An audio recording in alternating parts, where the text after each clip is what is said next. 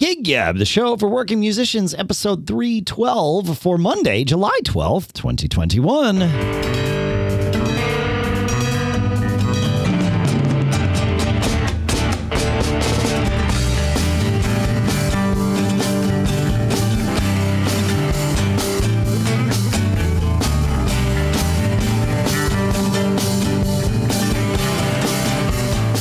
Greetings, folks, and welcome to Gig Gab, show by, for, and about working musicians here in Durham, New Hampshire. I'm Dave Hamilton. Here in Nipomo, California, Paul Kent.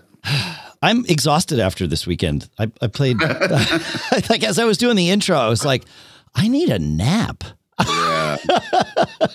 That's a good thing though, because I'm exhausted because I played two gigs, including one that got me home not late, late on Sunday night, but you know, I was I was home by like nine o'clock, but it was still it was a long day. We were there from I left the house at eleven thirty, so it was you know it was a long day. Of, That's the one that was in some kind of um, foresty setting. I So- the pictures. They look cool. Yeah, so I played two gigs in foresty settings this weekend. Um, yesterday was the one that I would say is least foresty, although yesterday was great. We, we were, it was both bitter pill gigs, and yesterday was at this beautiful house on uh, beautiful property, really, I should say, on a small little lake in Maine. We have lots of lakes around here. It's it's actually quite wonderful, and they're you know most of them are just hidden gems and only known to the people that that live on them, you know, or maybe there's public access. But um, but it was a, a gathering of this fantastic family uh, that I didn't know that I knew, uh, but it was friends and family of uh, a friend of of Billy's uh, named Kit who passed away from cancer two years ago. So it was a memorial for her that we were playing at, and I knew that part of it coming in. What I didn't realize was that I had sort of met a lot of these people for different reasons over the years, and um, and I think Kit and and her husband had been at several bitter pill shows over the years too. So it was, I mean, it was an emotional thing, even not really having known her, but uh, but you know, being amongst this great family and and all of their friends, you know, it was an emotional experience to be a part of. It just hard not to let that sort of seep in, and and not that I didn't want it to seep in. It was it was just a nice thing, and we wanted it playing. Yeah. yeah, it was good. Um, and so that was sort of in the woods. Uh, and then on Saturday, we played at this place called Hippie Hollow. I had no idea what to expect going into this, except I knew that it was a not great and and somewhat long walk from where you could have a car to where the stage was. So I decided, we decided, all right, let's not do full drum kit. Let's have each person do, you know, one trip to load in and and go as sparse as we can. So, which was fine. We played uh, one. We were going to play one long set. We actually played two sets there because it went over so well. And so, you know, we walk in and it's this mud path in or whatever. And um, I think a few people. I was like maybe the third or fourth person, you know, coming down the path with my stuff. And the, and the owner of the property, the owners of the property, I should say, were fantastic. They had little carts and stuff, including one gasoline powered cart to get the heavier things, you know, down to the the stage that they had built.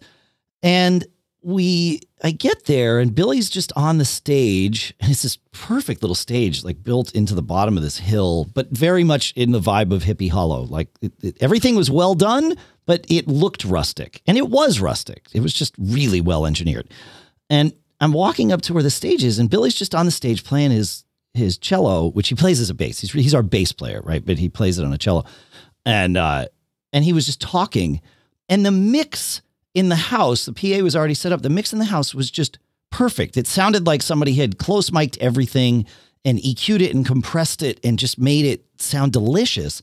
But I knew that that didn't happen because Billy was only about you know forty feet ahead of me on this this path. So he had literally just pulled his his cello out. And I'm like, like I'm trying to reconcile this, and it's outside, so it's easier to get sound outside, and you know all of those things. I mean, it's it different challenges outside, right? But you're not going to deal with like a lot of feedback and stuff generally outside. And uh, and I look, and there's two microphones live on stage. I'm like, okay, what's going on? And I, I go up to these microphones, and they're these Earthworks mics, SV33 for anybody that wants to know the model of them. Uh, and I'm like, this is amazing because it like it's picking up everything, but it's almost like it's pre-mixed. Like it's it's evening out the levels, and and it turns out there was no compression and no EQ, no nothing on these things. They were just like run basically into the speakers. and um, you know, no distortion on the edges, but they've got this sort of really wide, like you know, almost 180 degree pickup pattern, and they were just picking up the stage in this wonderful way. And so I mentioned that to the this guy Aaron, who was uh, one of the owners of, of the property, and he's like, "I'm like, really? Those mics are really great." He's like, "Oh, thank you." He says, "I appreciate you saying that." He says, "Those those have been my baby. You know, I, I designed those." I'm like, aha, okay. Like th- things are starting to come into focus a little bit here. And and he's like, yeah, he says there, you know, he's he's been at Earthworks, it turns out, for in, in various capacities for like 20, over 20 years, right? Involved with Earthworks. And uh and he's, you know, that's what he does. He's he's a microphone designer. And uh and he was telling me all about this microphone and and how it's the the casing of it, the casing of the windscreen that really sort of defines the pickup pattern and and all of that stuff, which I never really knew. I thought it was more about the element of the mic. He's like, no, no, no, no, no, no, no. He's like the the mic that's in there is just a regular, you know, condenser mic. I mean, he's he talks about it like it's it's not a fantastic microphone, right? but but it's a, you know the element is just like whatever the probably the best element that they have is. He said, but no, it's all about this thing. He said, but yeah, we're end of lifing them because uh, they're a pain in the ass to make. They, you know, they've they've only got it takes like a human being like an hour and 15 minutes to assemble one of these things. There's no way to do it on a production line. He explained to me how the glue needs to work and you got to like dip it and get it just right. Otherwise, if you screw it up, you got to start all over again. He's like, I did the first 150 of them myself. I'm like, okay, all right, I, I, I get it, you know. And it was amazing though to be on stage and just play and just sing into the air and just have it sound great. And we did wind up getting a little bit particular. Of course, you know, being that he's uh, affiliated with, he works for Earthworks. Uh, he had other microphones. So, like the banjo, we decided just more because he, the way we were set up, there's six of us in the band. He, uh, Mike, our banjo player, needed to be a little bit further off to the side than the microphones would pick up. So he's like, "Oh, I've got this directional mic," and you know, he aimed that at the banjo, and it was just like, you know, oh, it's sung into the thing, and uh, but it was fantastic. Like I didn't have a mic on my pitch staff. In fact, none of the mics were even aimed at me, and yet it just somehow magically picked it up. It really, I'm not sure how this mic, how these microphones worked, but it it it felt. I mean, they were condenser mics, so inside it would probably be a disaster. You know, you, you get all kinds of feedback if you gained them up that hot. But um, but they just they just they replicated the sound. To say that they replicated the sound accurately is correct, but probably doesn't explain quite how special it was. Got it. Yeah. So these are these are twenty four hundred dollar mics. That's correct. That's right. Yes. Yeah, I missed that But- part. I meant to say that. That's well, no, I mean, I, I mean, I, I- I don't think that that changes the mm-hmm. the positioning that you've kind of shared. Is that you know when you want when you want to as as people try and find interesting places to do streams or recording or broadcast and make it feel and look as natural as possible you know you know a lot of people just set up a phone and let you go with Yeah. your phone and then a lot of companies now have have created microphones that connect to a phone This was you the know- microphone that you described wanting last year. You're like, I just want to set something up and just have it sound fantastic. It's like, right but but what it's going to sound like is whatever environment you're in. So the environment needs to sound fantastic too, right? Like if, if you've got a reflective studio, this is probably get the not the, reflections yeah, yeah, it's probably not the vocal mic you want. That's right. Yeah. Yeah. interesting Yeah. well that's cool It was amazing. and i've heard So I mean good. earth yeah i mean the, the way that you said it we were just singing into the air and then all this magic is coming out of the pa that's really quite cool It's quite cool. Yeah. yeah it was it we were saying or I was saying that it was I I the way we set up I just happened to be standing between Emily and Billy, our two main singers in the band. I'm definitely, you know, singer number 3 uh in the band and then and that's as it should be. They have like I mean, they've got father-daughter harmonies going on, right? Like you can't beat that. And, and they're both great singers on their own, too. But there's a lot of songs where, you know, the three of us sing together, or maybe I'll just sing with Billy or or whatever. And uh but we haven't had it's been a while since we've even like attempted to have a vocal rehearsal. We've just kind of been evolving things. And it was the best vocal rehearsal we've ever had because I just we you know I got to stand in between the two of them. I had this perfect stereo mix mix that was perfectly natural. And I could blend and find that, you know, there's a couple trouble spots where it was like, I'm not quite sure. I know that there's something I can fit in here, but, you know, in the cacophony of, of a normal gig, I'm not really able to find it. And so I would like back off or, or even, you know, sit out for those passages and, and being able to do that at that moment in in that was just fantastic. It was like, oh, Yeah. all the questions are now answered for me. I'm good to go. And and we we all left that gig like vocally, that's the best we've ever sounded. And So it, it brings to mind a kind of an interesting concept. So I had uh, I want to tell you about all four gigs that I played last Yeah. weekend, but yeah, but uh, two of them, which were solo acoustic gigs, I was playing through a big PA, like a really like like the PA was covering a really big distance, Mhm. right? And um, so th- go on this little journey with me because you're talking about almost the freedom from amplification I mean, it know, was you it were- needed to be amplified. Don't get me wrong; there were a lot of people there, but Right. but like we didn't have to alter. We didn't have to think about it when we played. Right. We just played, But- and well, this is what I'm happened. saying. So, right. so I'm playing. You know, as I've shared with you, I love my Bose system. It it always set always sounds good. sure, Uh, it is it is almost a, a, a safety blanket for me now, and even. Uh, on these gigs with the with the big PAs, I use my Bose as my personal monitor. sure. But- which is what those things were built for, by the way. But you know, Right. Yep. Uh, but it is an interesting uh, point of stagecraft uh, playing through amazing PAs that that you feel in your performance. So imagine, you know, one guy on an acoustic guitar, right?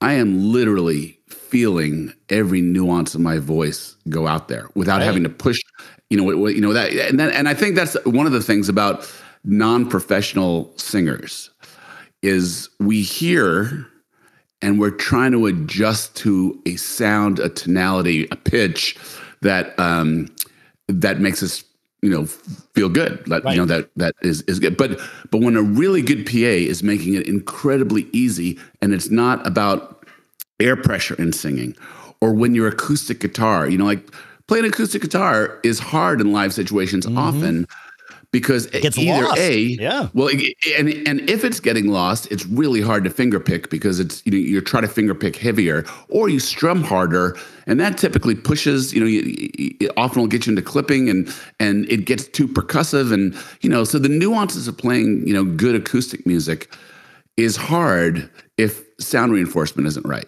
Yeah. Or, or actually, the converse is really easy and pleasurable when the sound reinforcement. Yeah, you get used to the the former, and then you you can enjoy the latter. That's right. Right. And so on these two gigs, I um I was just consciously, constantly aware that um my performance was was leveled up just because I had to do so much less. Yep. You know, I just literally I could just do. And once you feel that confidence that that the nuances and subtleties you know you it changes what you do. So so you learn to perform on big pa systems as well. It's a different skill than small bar gigs or small restaurant gigs right? It's a different set of uh, you have a new set of tools at your disposal when you when you've got really good sound reinforcement like that. Yeah, but it can throw you off too. I mean, if you're not if you're not aware of how like how a big system is going to push whatever sound you're making out there, that can throw you off too. You know, if you're if you're used to over strumming because that's the only Yeah. thing you know,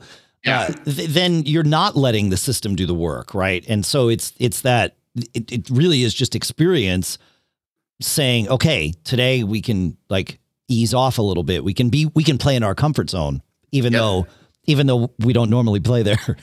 you know what I mean? Like it, comfort zone might be the wrong term, but but it is the right term. So Yeah.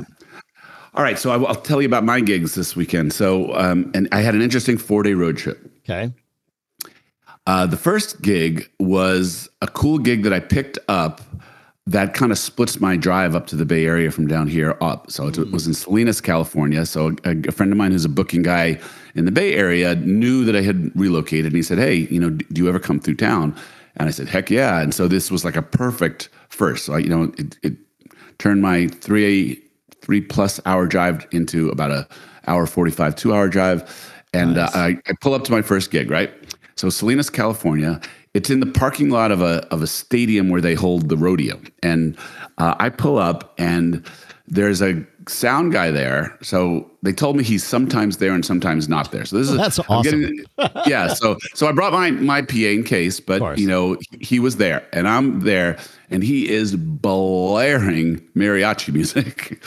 I mean, so this is like a little farmers market, and it had um, you know maybe ten to twenty. Uh, people selling farmers market things and 10 to 20 food trucks and a couple other miscellaneous things and it was an it was a community you know farmers market anyway, so it was one of those experiences where you pull up and I'm like, did did they know what I do here? Like, you know, is James is James Taylor and Cat Stevens going to follow the mariachi music really well? So, like I said, I get there, I get there early, you know, because I have the time and I just you know didn't know what to expect, so I, you know got there about an hour earlier than I would have. Pull up and the mariachi music is blaring, and so I'm like, well, you know, in for a dime, in for a dollar, and so uh, you know, I set up you know, he I, I did set up my Bose for my own monitor. He took the out from that, and you know, you know, he didn't have as much mix control, but Sure. but he took the out from that, and uh, it did. It sounded great. Um, it was, you know, wasn't a hugely trafficked thing. You know, some people grab some dinner and would sit down and listen to music here and there. People were really generous with tips, which was really cool. Um, and it went fine, but it was one of those, you know, like you pull in and like you don't know. kinds of music, country and western, right? Yeah, yeah, both kinds. You know, you just, you just don't know. You both kinds. So, uh, but it was, you know, I I was reflecting on the experience, like, well, this is kind of what I've signed up for. Like, if I'm going to be traveling minstrel guy, you know, these things are going to happen. So let's just lean in and uh, and play your ass off. Yeah, and, embrace and it. do the There you go. Yeah. And it, ended up working out well. So that was my first thing. Went home. Uh, I stayed with a buddy up in the Bay Area, and I was going to be at his house for the next uh, four nights. Uh, next day, um, I had a solo gig, 106 degrees at Downbeat.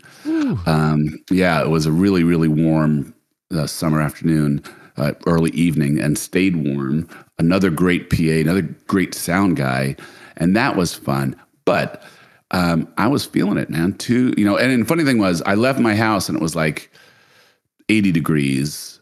It was about 53 degrees in Salinas for the first gig, and then 106 degrees for the second gig. So again, we're we're all over the place. And I'm really, I know I've got four days ahead of me. I'm really cautious about my voice, and you know, very conscious about singing with good technique. You know, to be able to sing every day. So. Yep. We got a lot of things going on, and, and and again, the context of all this, Dave, is is I am just keenly aware that there are people who have been doing this road stuff, unexpected situations for years and years and years. It is work. I mean, Mm-hmm. it it's is. not. We're not. We're not mining. You know, for coal. It's not that type of work. But it, it is its own unique set of stresses, and it's not and and uh, and circumstances that a professional has to find their way through. Well, that, you know, when I say that if you call me at 3 p.m. on the day of pretty much any gig and tell me it's canceled, you're my favorite person in the world. Uh, and it's not, obviously, it's not because I don't like playing gigs, right? I mean, if that were the case, I, I just wouldn't do this anymore. But it, it more is exactly this is there is that unknown. Even going to a club that I've, or a venue, I should say, that I've played before, there's still unknowns about that particular day, but especially going somewhere new, it's like, okay, I got to get there. You know, first of all, I got to get all my crap in my car and and make sure I've got everything right. You know, and and you all know that I I fret about that with my OCD, and so I have my my checklist and all that. So, but you know, I got to go do that, and then I drive to the gig, and then you get there, and it's like, what's it gonna be? You know, you have no clue, Yeah. No clue, and and that there's some fun in that once I'm sort of in it, but right up until the moment, usually it's the moment that I it's certainly by the time I'm set up, I'm good to go. But even once I like step on the stage or whatever we're calling the stage for the day, that's when I start to feel like, okay, like a lot of the unknowns have gone by now. You know, I don't like the, the anxiety of the unknown is is quickly diminishing and I'm starting to formulate, okay, what can I do here to make this work? Y- you know, whereas if you don't know, you don't know. Yeah, and it is. It's work. But it, even once you know, you still got to solve the problem every time. Yep. Yep. and and solve the problems and uh, and have the ability to clean the slate so you can come and do the job you are hired to do. Right. You That's know, so- correct. Right. It's not your job isn't to solve the problems, although that that Right. actually is the job, right? But the, the job is, as you said, to entertain. And so it's how do I solve all these problems so that I can let go of all the problems yeah. and entertain? That's right. Yeah. Right. So, all right. So, day one, follow the mariachi music. Day two, 106 degrees.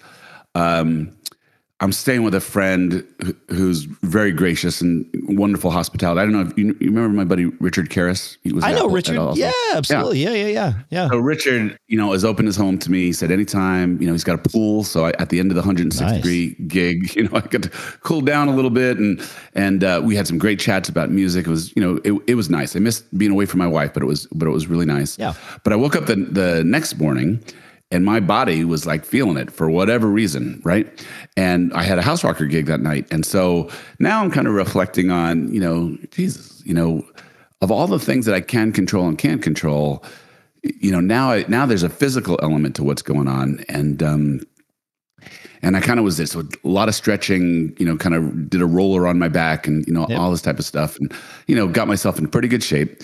Uh, got a chance to drive up to this gig, about, about a 40 minute drive from where I was staying with Russ, our drummer. And it was just great to have the time with Russ to connect, you know, and, I, and this stuff is important. Like, do you ever drive to gigs with band members or are you almost always by yourself? Um, it, these days it's almost always by myself. The one thing I loved about the Murray Woods band, which was the blues band that I played in in Austin, Texas, is we were a trio and two of us lived almost in the same neighborhood just by happenstance, our bass yeah. player and I. And then and then Murray lived elsewhere, but he would come down and we would load one truck. Uh, and three of us would sit across the front of one of our pickup trucks because we all had pickup trucks, and we just load the stuff in and go to the gig, and it was fantastic. Uh, just yeah. being a band in the car before and after the gig, you, you know, like that. I miss that. That was great. I, yep. Exactly. So that time was just great because you know, we've, we've had a couple rehearsals, we've had a couple gigs, but you know, that time, 40 minutes there, 40 minutes back, I, I helped roadie for him. So he appreciated sure. the help of getting his drums on and off stage. Um, you, know, you not do that all the time? Like, is your band not a nobody leaves until every cable is wrapped kind of band? No, oh. everybody, everybody's for themselves, right? You know, we have sucks. a little crew for the sound system. It does suck, and because um, there's bonding know, there too. Like I, I, and, and as the drummer, certainly, you know, I appreciate the help, but it, it's more uh, and I do appreciate the help with my drums for, for, sure. But it's more about that we're all in this together thing. And, you know, with the PA and all of that stuff, like the PA can take it, it, longer to break down than I would with my kit if I was just doing it by myself. So we have a crew for PA. So we sure. pay that. But, you know, yeah. Nick has got a lot of heavy stuff. Yeah. Russ has got a stuff. Right. And you know what? I don't, I, I would actually say this is kind of a moral failing of our band. And it's probably just more habit now than anything else. Yeah. Right and I think you know some of it is just what what guys are used to. Sure. And so, but but you know, I help out on occasion, you know, and and jump in, and I'm, i would imagine that the guy who I help out with at any picking time is like, why do you do this sometimes and not all the time? You know, it's probably yeah. the obvious question that would come on someone's mind. But anyway, so it is what it is. Uh, you know, Russ and I, I help him get on, help him get off. We have a nice drive home kind of debrief on the gig was a lot of fun, and just I felt it was a you know good bonding thing. When I had you know a late night bad dinner, uh, and then went back and get ready for. Those are some of the best dinners. exactly. And then my fourth gig was um, another solo acoustic gig, and, and it's a gig that I've turned into a regular gig in the town I used to live in. Um, it's kind of cool because it's a finite amount of space for seated. There's you know standing room and the proprietor of the place uh, has started selling tickets for people to come see me. It's interesting to me just because it's a point of reference. Like our people are willing to see this cover band musician, you know, kind of do this thing. And she sells it out. The last two that we did have sold out. I did this one with our buddy Chris Breen. So Chris, nice. if you're out there, love you. It was great to see Chris and our first connection since uh, since COVID.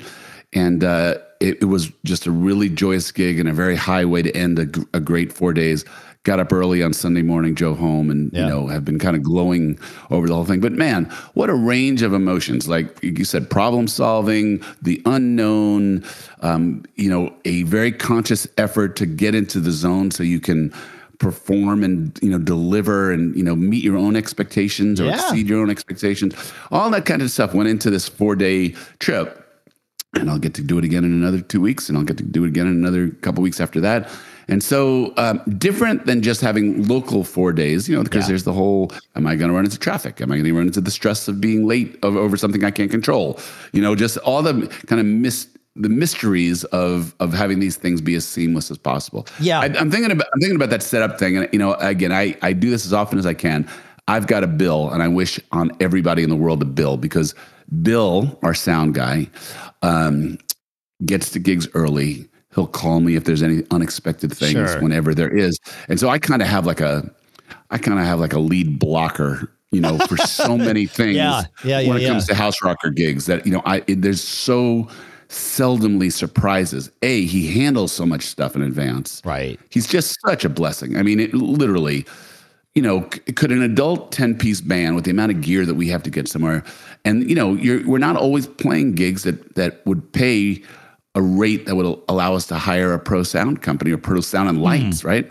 So to be self contained in this way allows us to take advantage of different things. And again, I, I wish a bill on everybody. He's, you know, someone who loves music, loves the band, loves being in a band in this way and and just like I said, he's he's like all American lead blocker who's just always out in front, clearing the way so we can do what we love to do. No, that there's a smart there's a lesson there for for everyone. Like if you're if you're building a band, build it with a like we because we do this with uh, Uptown Celebration was built that way, right? Where Dave, our sound engineer, uh, is just a member of the band, right? And so building a, a sound engineer into the band that that is not a playing member of the band uh, can, like you said, it comes with uh, you you bring yourself a lot of flexibility. I suppose that that flexibility is there if you are able to do the sound yourselves, right? Like even without an extra person.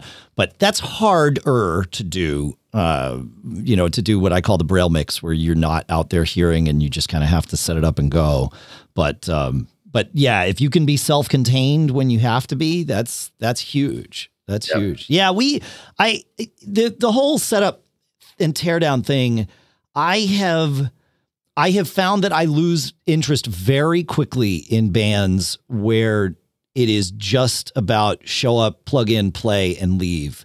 And part of that is, you know, th- there's some level of resentment, right? Of like, okay, well, you know, I got all this crap here. Like, this is what it takes to put on the show. Your Yeah. crap, my crap, his crap, her crap, right? Like, and so this is what we all want to do for the show. Let's all be in it together. There's definitely some level of that. But the other part is the camaraderie of it. Like, if we're not getting there together and setting up together and tearing down together and we're just playing music together, it it starts to get a little weird. And and Bitter Pill is in an interesting spot with this because there's a couple people in the band that have never played in bands before, and then there's uh, you know a few of us that are like you know lifelong people who have played in bands, and Yeah. and it and so like we're in a weird spot. And Everybody is on board with the camaraderie. Everybody is on board with helping out, but it's not ingrained in all of us at the same level, right? Like if you, I think if you asked everybody in the band, everybody would say, "Oh yeah, we all help, we all." But that's it's there's like that's not necessarily true. That like not everybody helps at an equal level, and there definitely isn't a vibe yet. We're, we're getting there. There's not a vibe yet where the you know nobody leaves until there's a clean stage. Um, and I I leveraged that on Saturday. You know, we had that gig where I just brought my pitch slap and a bag of like percussive toys and things in. And uh, as soon as we finished the gig, I looked at my watch. I'm like, oh, you know, my original plan before we got the gig was that I was going to go and uh, with Lisa and Sky, my wife and daughter, to see this uh, Eagles tribute band, the Dark Desert Eagles, fronted by Pat Badger, the bass player of Extreme. He plays guitar in this band. And our and our friend Chris Lester plays the Joe Walsh part. I'd never seen him before, and I've heard good things. And so we had bought tickets to go see him in in uh, Hampton, New Hampshire, at the Casino Ballroom. And uh, but then I got this gig with Bitter Pill, and I was like, okay, well, you girls go off and have fun, and you know, you've got an extra seat next to you. Enjoy. Mm-hmm. Bring somebody if you want. But they didn't bring somebody, and I looked at the clock, and they had texted me saying, oh, there's an opening band, and you know, the timing was going to work out that I would probably only miss you know ten minutes of the of of the set from this Eagles band. I'm like, you know what? I'm going. Like that's it. And so I grabbed my stuff and left. And it was the weirdest thing. Like it was really hard to get myself to leave. Uh, you know, without everybody else having packed up and us all not having done it together. And uh, I mean, I asked everybody, I'm like, are you okay? Like, is this uh, like, everybody's like, well, we all only have our own stuff. Like, it, yeah, go. It's fine. There's nothing to do. I'm like, yeah, but it just feels weird, you know, to be the first one leaving the gig. They're like, take advantage of it. And I'm like, yeah, but I don't like it. Like, I, I didn't like it. It was, it was very convenient based on schedule, right? But if it were, if I did not have this, this event, I definitely would not have been able to bring myself to leave. But it was like, all right, I'm not going to see my wife all weekend. Like I, I can, I, the, okay, I'm going to do this. But I was not happy about it. It was, it was very interesting. I'm still conflicted about the fact that I did it. so, um, but yeah, it's an, it's an interesting thing that, that whole, you know, all for one, one for all kind of attitude that, that I think is a really good thing for a band. So, yeah. yeah. yeah. I, I, I don't, I don't disagree. It's hard to, it's hard to if you don't start out with that philosophy yes. it's hard to it's hard to inject that philosophy It right? is, and i think the and also, I, will tell you horn, horn players oh, you know they just that's not the way they think they're like i, I that's I not that's not in. universally true though because i've played you know we've had horn players even just people that sit in with the wedding band and they have like stayed till the end to get everything wow. out of there. Yeah, it's not. I mean, I get what you're saying. Like, and even with like theater musicians, of of which I am one. Like the first theater show I did, I packed up. You know, at the end of the run, I packed up my drums, I put them in my car, and uh, and then I came back in to help out. And they're like, "What are you still doing here?" I'm like, well, mm. you know, we're tearing down the show that we all just did together. They're like, "Yeah, but you're in the band. You should like, you just worry about yourself and leave." I'm like, "Yeah, it's like really difficult to do that." So mm. I'm gonna help for a little while until you know until I feel all right leaving. And they're like, "Okay, you know, here here's a screw gun. Go." I'm like, "Okay, great, sounds good." You know, um, but Bitter Pill's so, getting there. I have hope for Bitter Pill because everybody shares the mindset. It, it's just you need to learn what it actually means, right? Like and and do it enough so that it becomes practice. And we are we are getting better about it, which is good. So, cool.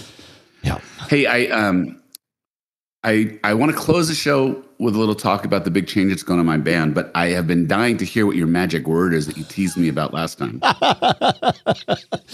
So I have I have a question for you. Maybe that's the best way to add, to start this topic, Paul.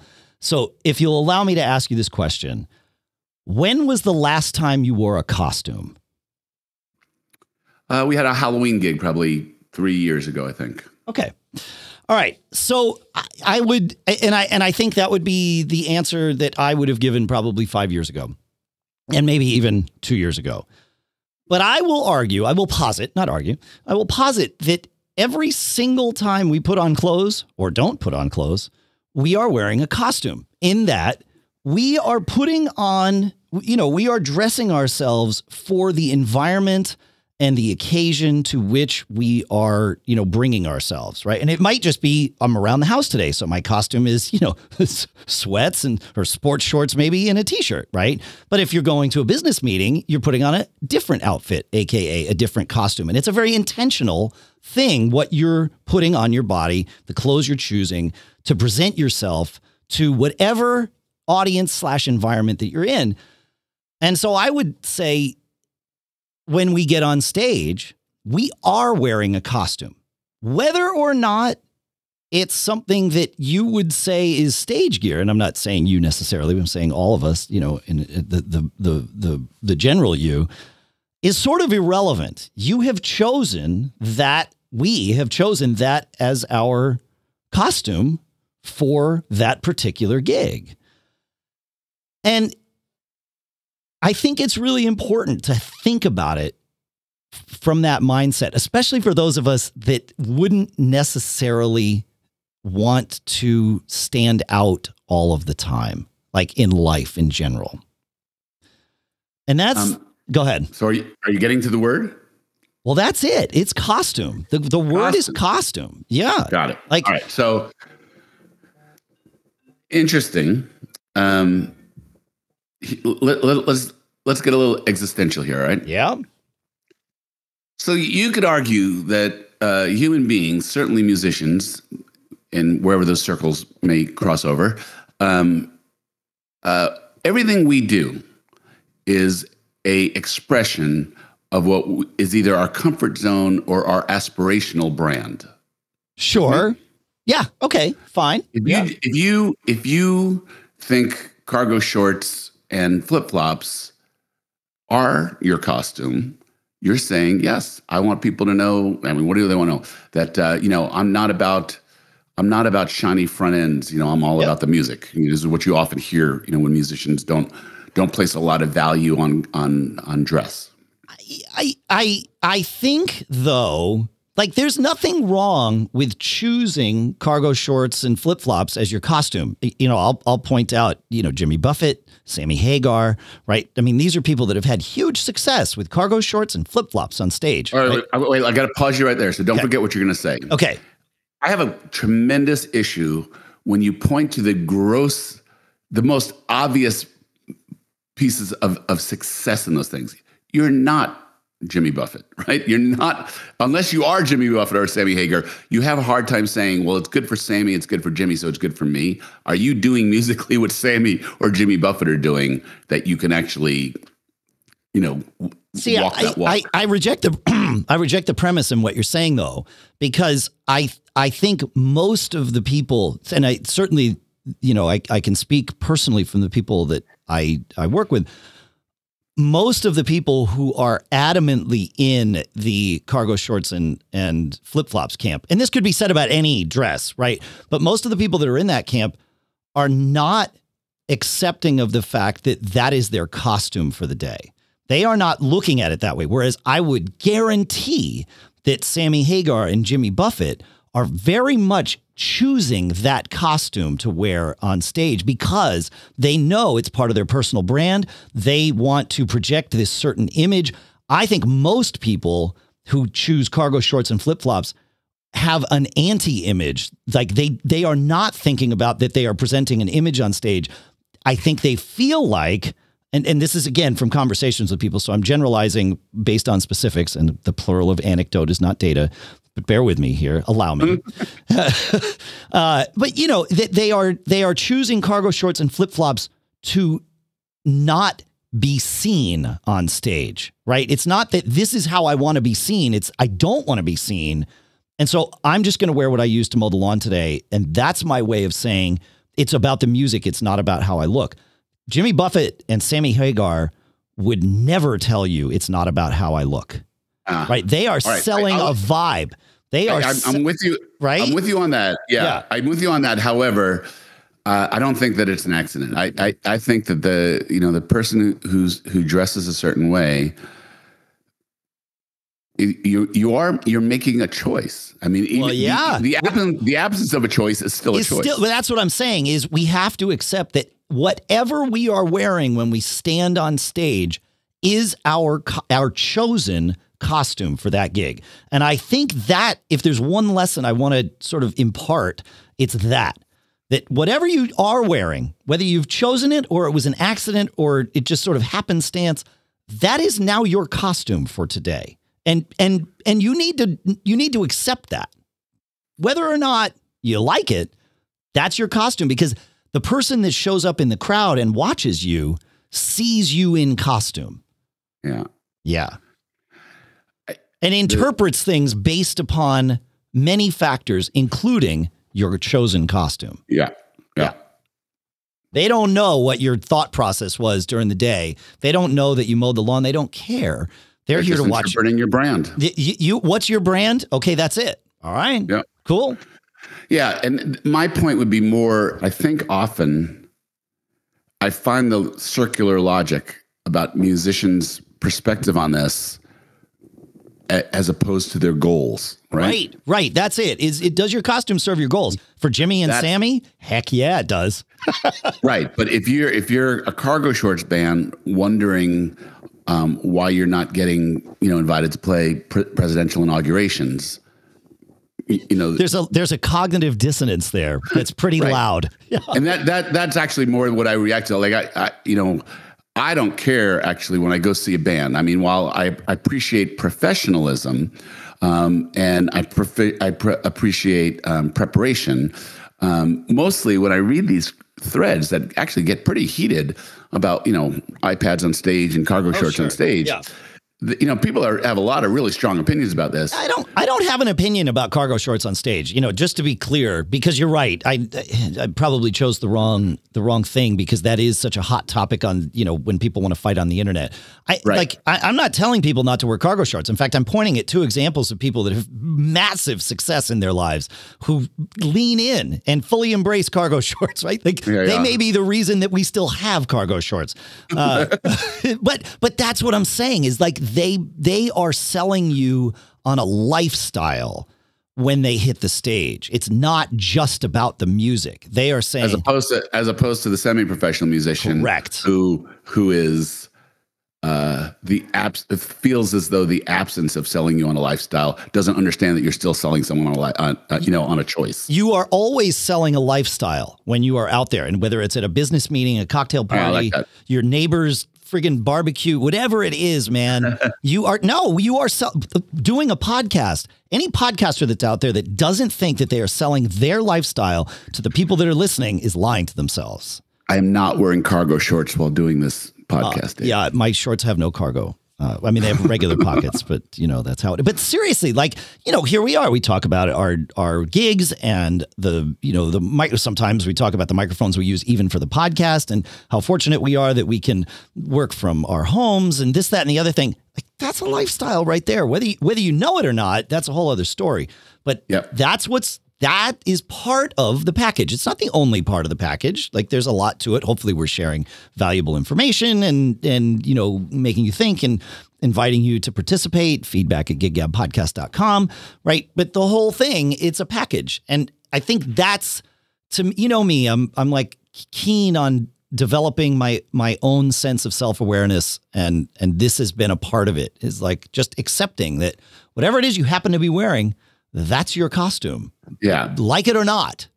Yeah. You know- it is a choice. Yep. it is communicating a message you know and i guess the the useful conclusion to that is does that message support your goals? That's it.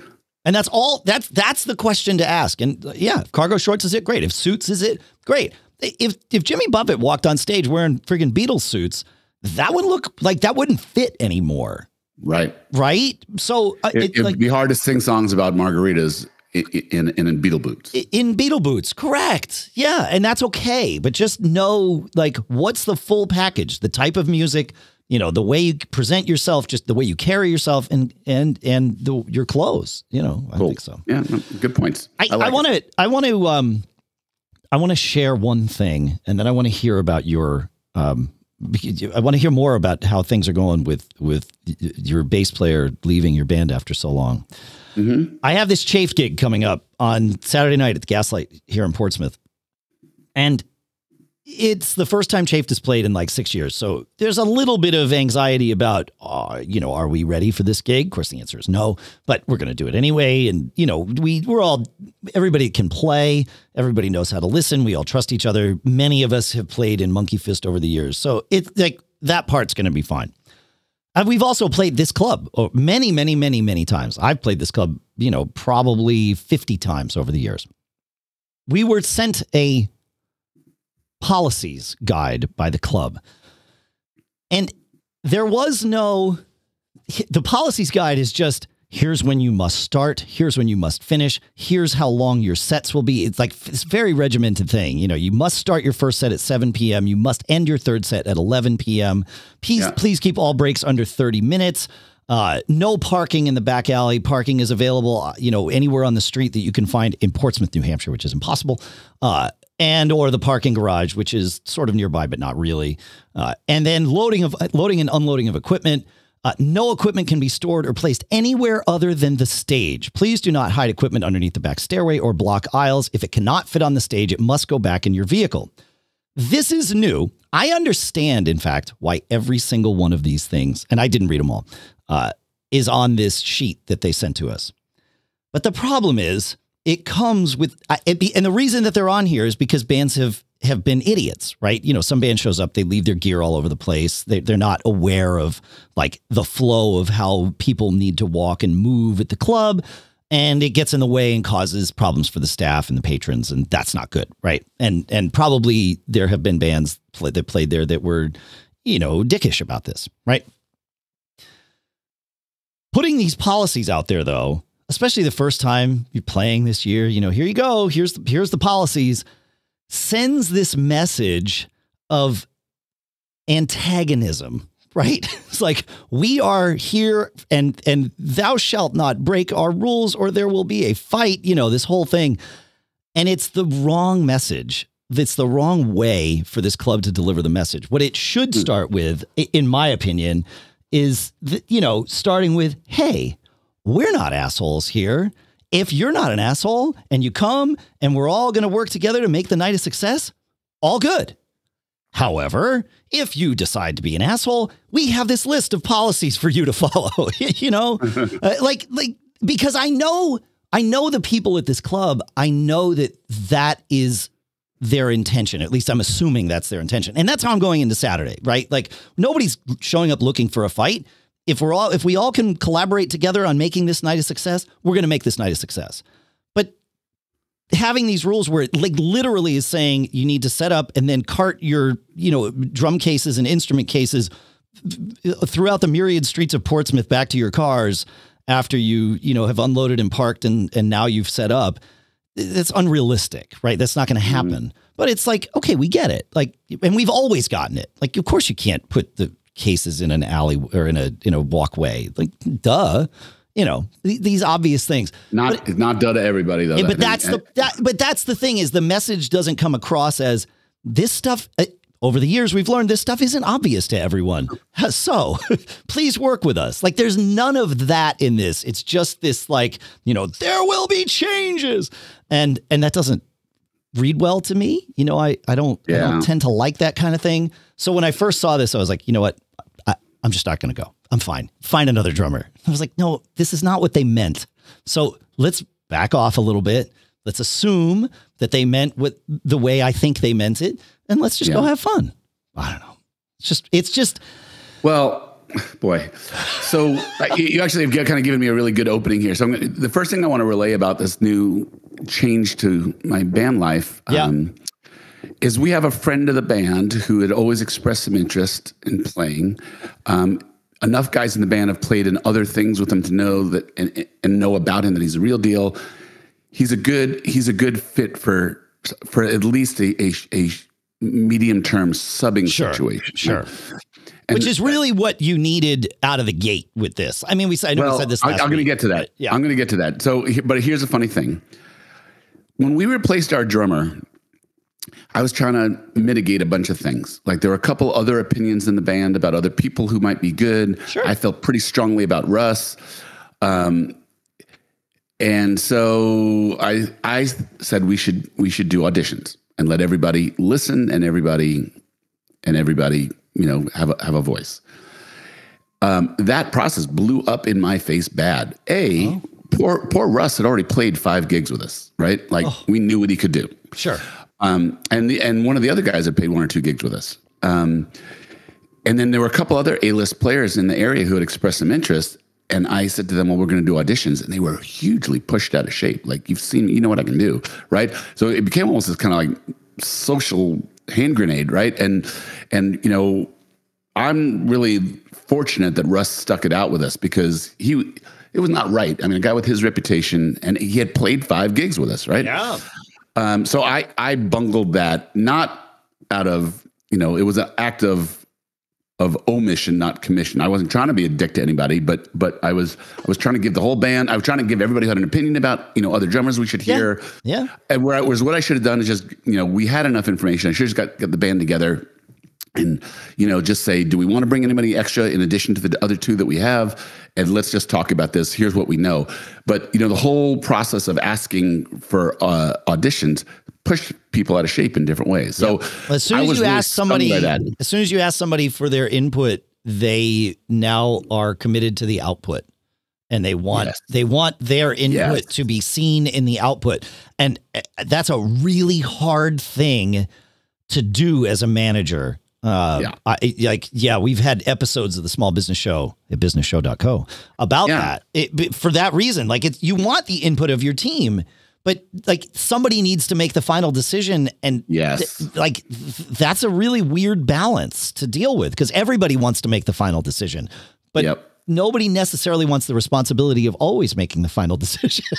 right. All right. So now we get yeah. to this. So this second, you know, major change to my rhythm section in five years, and um, I had felt very strongly that one of the things I need to do is, is I need to be a more definitive leader and you know tell people how this process is going to go instead of ask people how it should go. Sure. And and define where people's input could be for this type of thing, right? Yep. Again, not it's not a full democracy, but my style is to you know give enough buy-in where people feel connected to the process, right? Yeah, and, but, and actually have them connected to the process. That's right. Yeah, yeah. That's you don't so, just want to do it for show. Like you, you actually want connection, but still, everybody understands what the the where the decision is going to be made. Yeah, exactly. So, um, what I said was is that we're kind of in triage mode. We got a lot of gigs coming up. You yeah. know, we certainly aren't going to have a big long discussion. We got to get someone in, get ready. We talked about a, a few people who you know, could possibly be it. But you know, this one guy who again has been a friend of the band, has played with different guys in the band. He um, had the right resume, and you know, we think it'll be uh, you know the best fit. But I said it needs to be. We need to approach this as a as a sub situation. We can't you know just hey, someone's leaving the band. You know, issue an invitation. You want to join the band, and right. someone who's never played with the band, right? Right. So it's a long term sub. We've got like 20 gigs on the calendar. And so I can guarantee the person for the time in to learn our show, you'll get 20 gigs out of it and Great. you know pay and that type of thing. And if it you know if it's clear that it's gelling for both sides, yeah, we're open to talking about more stuff. But right now, the only conversation I want to have is I'm offering a sub situation, and I was I tried to be painfully clear about that.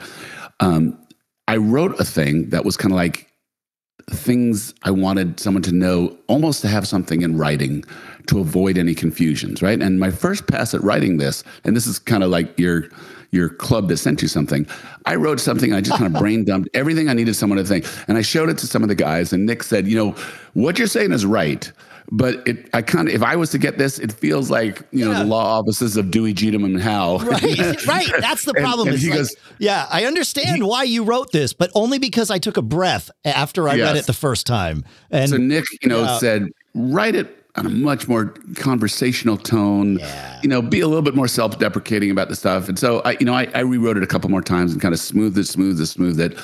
But it was stuff that should needed to be said. Like there's nothing know, wrong with saying it. No, that's the point. Is like you've yeah. learned your lessons. Not not all of them. Hard. You, yeah. you will learn a new one through this process that you can't think of. But you know, you've learned enough of them that it's worth getting it out, getting out in front of it, and and you know making it a collaborative effort to avoid the problems you know have happened in the past right? Like yeah. that's the key. But but i think probably if, to to crystallize what nick was trying to say is you need to make it sound like it's a collaborative effort not yeah. not like you said here's here's the here's the legal letter. Yeah. Yeah. So you know after a couple iterations i got it down. I i'm i sent it to the guy who's, who's a good guy and didn't hear anything for a couple days. Checked in, any questions? He goes, nope. Appreciate the spirit in which it came. I'm guessing it's still, despite my best efforts, might have came across a little bit more stringent than than the uh, initial effort. I'm kind of okay with it because, like I said, everything in there had to be said. At the end of the day, he's going to come he's going to play with us and that's going to be the essence of our things. Sure. you know i don't think that this is going to form the basic i mean he's known most of the guys in the group for so long. So yeah. I, you know i'm kind of okay you know if it had a little bit of a of a of a rough edge around it but the stuff did need to be said. And so here we are. So you know now I, have got a, a great sub. I've i've stopped the bleeding. You know we've yeah, you solved the problem. a problem. Absolutely. Yes. yeah. And i mean the reality is if assuming this guy can play, which I think is, al- is, already a known, right? And yeah. assuming he knows how to be in a band, that there's a really good chance that all of you will decide to continue this thing long term. I, I mean, like momentum is what it is, right? You get through even 10 gigs, let alone 20. It's just the chemistry thing now. That's I think it. it's just like, does it gel musically and socially? And, you know, we are a band that social is a part of our, you know, it's not just guys who just right. show up at a gig and, you know, perform their duties and go home. It's a band that hangs out together, that dines together. You yeah. know, that's, that's part of why it's been together as long as it has. But that, honestly, you know, what you did is you took, in my view, you took the pressure off, right? Because here's this guy coming in. He may not like he knows some of your guys, but he may not like the vibe of your band. Like he doesn't know. And, and I mean, he can he knows what he sees from the outside, maybe, and you don't necessarily know. And so you've taken the pressure off for that. Everybody knows that okay, if we get four gigs into this thing and we realize, okay, like this isn't exactly who we would want to have in the band, or this isn't exactly the kind of band I would want to be in. Well, that's fine. There's 16 more gigs.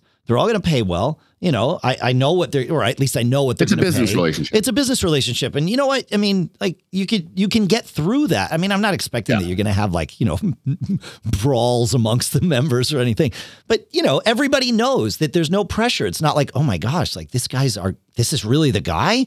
Like Yeah. we're going to be here for five years. Like there's nobody, nobody's asking that question. In fact, you've given yourselves the opportunity to say the opposite. Like, wow, I, I'm sad that we're only doing 20 gigs together. We, let's talk about maybe, you know, making this a, a more, a more regular Yeah. thing, right? Like, but that's, that option is open to everyone. It's not forced on anyone. And that's, it. So the lessons have been learned, and Yeah. you know, I think that this is a sane process for our situation, right? that's right. Um, so that said, you know, I just kind of want to close here today, and um, I have this incredibly dear friend uh, who's going to be moving on. He's he's moving out of state. Um, he was he's the longest tenured member of my rhythm section. He's been with me for twenty years. Wow.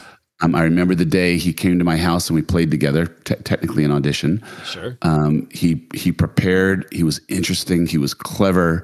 He was funny as hell.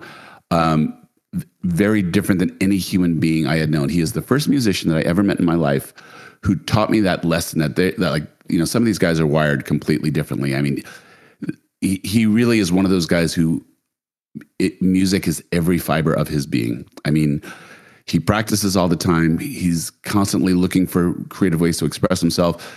He he's not a nine to five guy in any way, shape, or form. He lives and breathes music, sacrifices for his art, and you played with him, and he's Yeah. absolute Oh, he's he's a, he's a pleasure to play with. He yeah he. Whenever I needed a shoulder during those gigs that I played with you, he was right there. It was no problem. He, you know, Yeah. it, yeah, absolutely. Great. loves guy. other musicians. Yeah. You know, you start with Steve on the bait, not like you know, show me what you can do. You start with Steve. He's like, oh, cool, you're here, you're playing with us today. Uh, the assumption is you're one of us, right? And That's he's it. that guy who gives that that thing off. He's taught me so much in our band. Steve was the um, officiant, right? So whenever we had a technical problem, you know, like like something from a theory standpoint, a horn chart standpoint, a, a groove or rhythm standpoint, Steve was the trusted, informed soul who would navigate us through, always with like a a, a, a velvet glove, very encouragingly, you know, just really remarkable guy. He's he drinks hard and and he lives hard um, and somehow or other he channels all that into his music. And uh, he has taught me so much he's so different from me. We had him over to our house for uh, a thanksgiving one year when he was a single guy and he enjoyed you know being around a family so much and just to watch this guy get to me he's you know he's kind of at that time he was he was pretty hermit like like he was either practicing or gigging was his entire life and to get him out of the house was a pretty weird thing. And just uh, he you know he and my daughter bond over books.